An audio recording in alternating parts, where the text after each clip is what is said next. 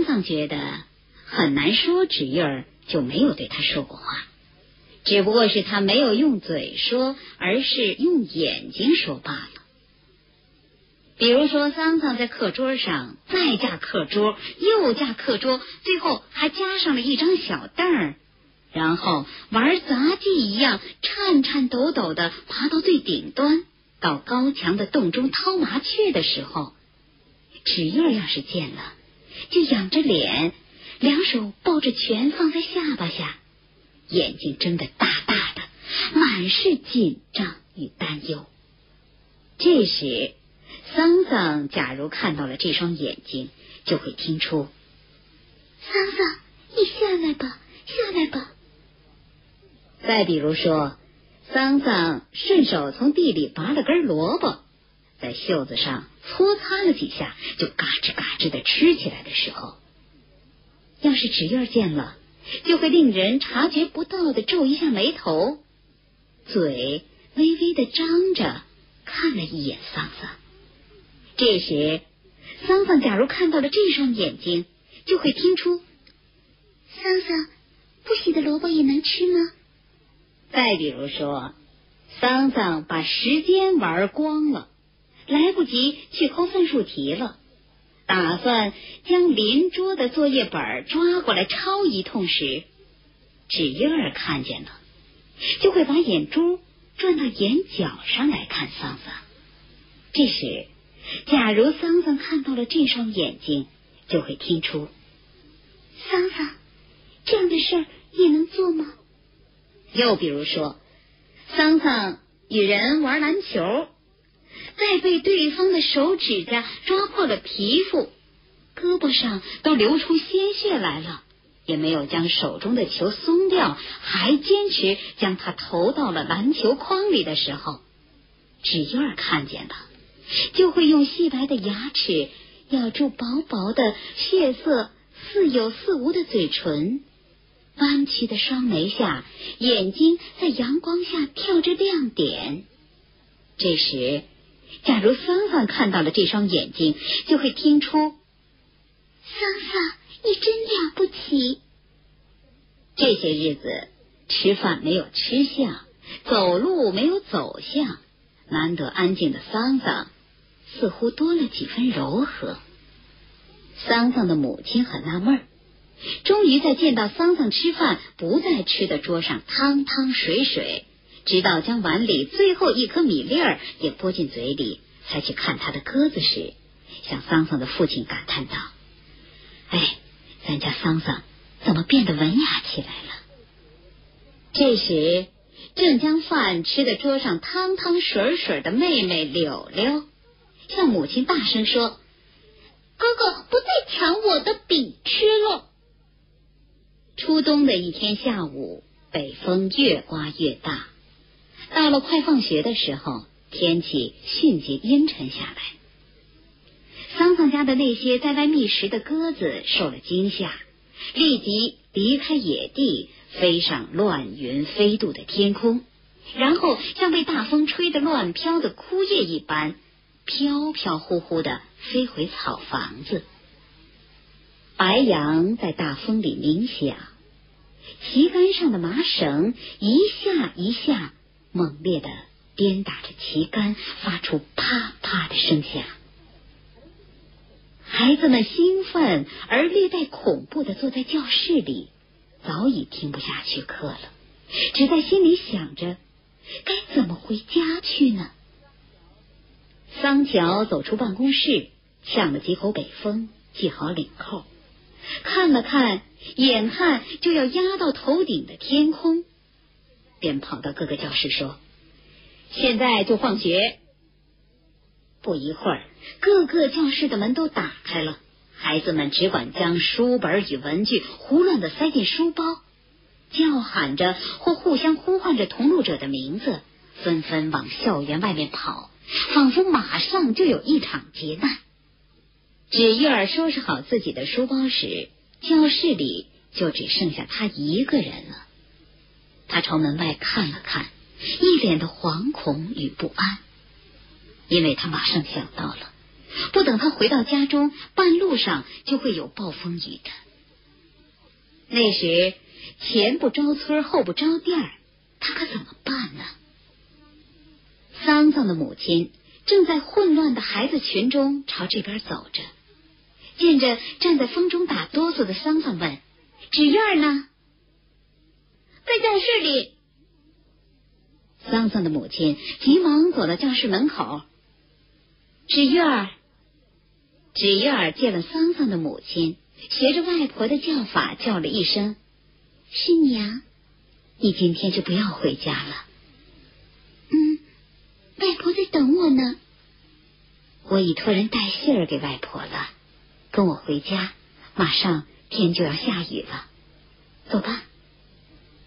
纸月说：“我还是回家吧。”桑桑的母亲说：“你会被雨浇在半路上的。”说罢，就过来拉住纸月冰凉的手：“走吧，外婆那边肯定会知道的啊。”当纸月跟着桑桑的母亲走出教室时，纸月不知为什么低下了头，眼睛里汪了泪水。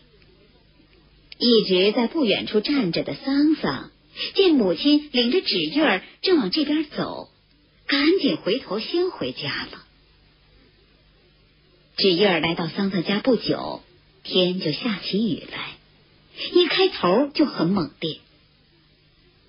桑桑趴在窗台上往外看时，只见四下里白茫茫的一片，油麻地小学的草房子在雨幕里。都看不成形呢，虚虚幻幻的。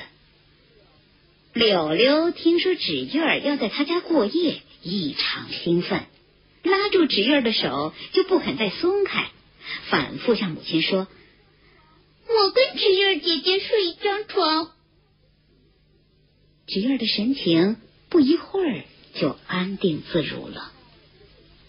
在柳柳与纸月儿说话，纸月儿。被柳柳拉着在屋里不住的走动时，桑桑在一旁不住的给两只小鸽子喂食儿。忙着做晚饭的母亲在弥漫于灶房里的雾气中说：“你这小子，你非得把这两只鸽子撑死不可。”桑桑这才停止了喂鸽子。可是桑桑不知道做什么好，他只好又趴在窗台上望望外面。天已晚了，黑乎乎的，那些草房子已几乎看不见了。但桑桑通过檐口的雨滴声，至少可以判断出离他家最近的那两幢草房子的位置。桑桑的耳朵里，除了稠密的雨声，偶尔会穿插进来柳柳与纸叶的说笑声。隐隐约约的，从屋后的大河上传来打渔人因为天气不好而略带悲伤的歌声。纸月儿果然被桑桑的母亲安排和柳柳睡一张床，柳柳便脱了鞋，爬到床上，高兴的蹦蹦跳跳。母亲就说：“柳柳，别闹。”柳柳却蹦得更高。母亲及时的在屋中央烧了一个大火盆，屋外虽是凉风冷雨，但这草房子里却是暖融融的。柳柳与纸月的脸颊被暖得红红的。在睡前忙碌的母亲有时会停住看一眼纸月，她的目光里总是含着一份丢不下的怜爱。安徽小说评书广播每周一至周六中午十二点三十分经典回放，为您再现名家经典之作的永恒魅力。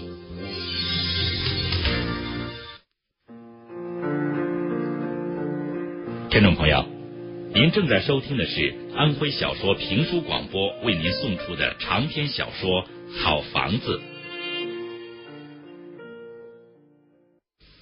桑桑睡在里间，纸月儿和柳柳睡在外间。里间与外间隔了一道薄薄的用芦苇干编成的篱笆，因此外间柳柳与纸月儿的说话声，桑桑都听得十分分明。纸月儿教柳柳一句一句的念着：“一树黄梅个个青，打雷落雨满天星。三个和尚四方坐，不言不语口念经。”柳柳一边念一边乐得咯咯笑，学完了又缠着纸月儿再念一个，纸月儿也很乐意。正月梅花香又香，二月兰花盆里装，三月桃花红十里，四月墙杯靠短墙，五月石榴红似火，六月荷花满池塘，七月栀子头上戴，八月桂花满树黄，九月菊花初开放。十月芙蓉正上妆，十一月水仙宫上岸，十二月腊梅雪里香。桑桑睁着一双大眼，也在心里默默的念着。母亲将一切收拾停当，在里屋叫道：“柳柳啊，别再总缠着姐姐了啊！天不早了，睡吧。”灯一盏一盏的相继熄灭。两个女孩在一条被窝里睡着，大概是互相碰着了，不住的咯咯的笑。过不一会儿，柳柳说：“芷月姐姐，我和你一头睡可以吗？”芷月说：“你过来吧。”柳柳就像一只猫似的从被窝里爬了过来。当柳柳终于钻到芷月怀里时，两个女孩又是一阵咯咯的笑，就听见里屋里母亲说了一句：“柳柳，疯死了啊！”柳柳赶紧闭嘴，直往纸月怀里乱钻。但过不一会儿，桑桑就又听见柳柳跟纸月说话，这回声音小了，好像是两个人都钻到被窝里去了。但桑桑依然还是隐隐约约的听清了，是柳柳在向纸月讲他的坏话。好前，好多年前，我哥哥怎么会是好多年前呢？反正有好几年了。那天，哥哥把家里的一口锅拿到院子里给砸了。砸锅干什么？卖铁呗。卖铁干什么？换钱呗，那换了钱干嘛？换钱买他的鸽子呗。后来呢？哼，后来妈妈烧饭发现锅没有了，就找锅，到处找也找不着，就问哥哥看见锅没有。哥哥看看见妈妈就往后退，妈妈知道了就去抓哥哥。他跑了吗？跑了。跑哪了？院门正好关着呢，他跑不了了，他爬到猪圈里去了。他爬猪圈里去了，他爬到猪圈里，老母猪就哼哼过来咬它。那咬着了吗？哥哥踩了一脚猪屎，要爬出来了。纸月儿躲在被窝里笑了。我告诉你，我哥他可脏了。他早上不洗脸就吃饭。桑桑听得咬牙切齿，恨不能从床上蹦下来，一把将柳柳从热乎乎的被窝里抓出来，然后踢他一脚。幸好柳柳渐渐困了，又糊里糊涂的说了几句，就搂着纸叶儿的脖子睡着了。不一会儿。桑桑就听到了两个女孩细弱而均匀的鼾声。窗外雨还在淅沥淅沥的下着，有只鸽子大概是被雨打湿了，咕咕叫着。但想到这也是很平常的事儿，叫了两声也就不叫了。桑桑不久也睡着了。后半夜，风停了，雨停了，天居然在飘散了两三朵乌云之后，出来了月亮。夜行的野鸭疲倦了，就往大河里落，落到水面上，大概是因为大鱼好奇的吸吮了它们的脚，惊得呱呱一阵叫。桑桑醒来了，桑桑的第一个念头就是想撒尿，但桑桑不能撒尿，因为桑桑想到自己如果要撒尿，就必须从里间走出，然后穿过外间走到门外去。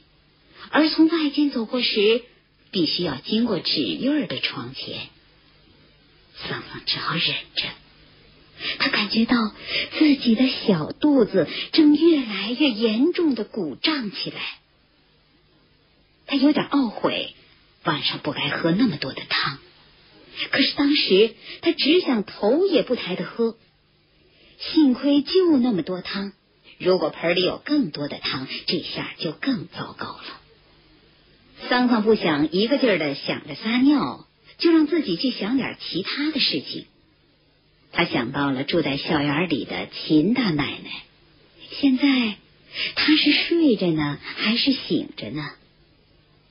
听父母亲说，他是一个人过了一辈子，这么长的夜晚，就他一个人，不觉得孤单吗？他又想到了油麻地儿第一富庶人家的儿子杜小康。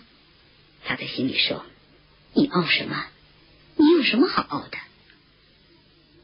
但桑桑又不免悲哀的承认，一年四季总是穿着白球鞋的杜小康，确实是其他孩子不能比的。他的样子，他的成绩，还有很多很多方面，都是不能和他比的。桑桑突然觉得杜小康傲是有理由的。但桑桑依然不服气，甚至很生气。小肚子的胀痛打断了桑桑的思路。桑桑忽然听到了纸月儿于梦中发出的叹气声，于是桑桑又去很混乱的想纸月儿。纸月儿从田埂上走过来的样子，纸月儿读书的声音，纸月儿的毛笔字。纸月儿在舞台上舞着大红绸。后来，桑桑又睡着了。第二天早上，母亲在收拾桑桑的床时，手突然感觉到了潮湿。打开被子一看，发现桑桑夜里尿床了。他很惊诧，桑桑还是五岁前尿过床，怎么现在十多岁了又尿床了？他一边将被子抱到院子里晾着，一边在心里犯嘀咕。早晨的阳光十分明亮的照着桑桑的被子，那又举进了院子，见了晾在绳子上的被，问：“是谁呀？”母亲说：“是桑桑。”那时，纸月儿正背着书包从屋里出来。但纸月儿只看了一眼那床被子，就走出了院子。桑桑一头跑进了屋子。过了一刻钟，桑桑出来了，见院子里无人，将被子狠狠的从绳子上拽下来，扔到地上。而当时的地上还流着夜里的积水。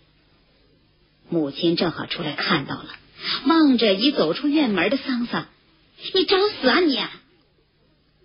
桑桑猛地扭过头来看了母亲一眼，抹了一把眼泪，跑掉了。这天，纸月儿没有来上学，他的外婆来油麻地小学请假，说纸月儿生病了。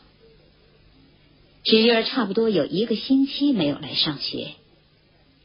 蒋一伦看纸月儿落下了许多作业，就对桑桑说：“你跑一趟板仓，把作业本啊交给纸月。”把老师布置的题告诉他，看他能不能在家把作业补上。桑桑点头答应了，但桑桑不愿一个人去，就去找阿树，要他陪他一块儿去。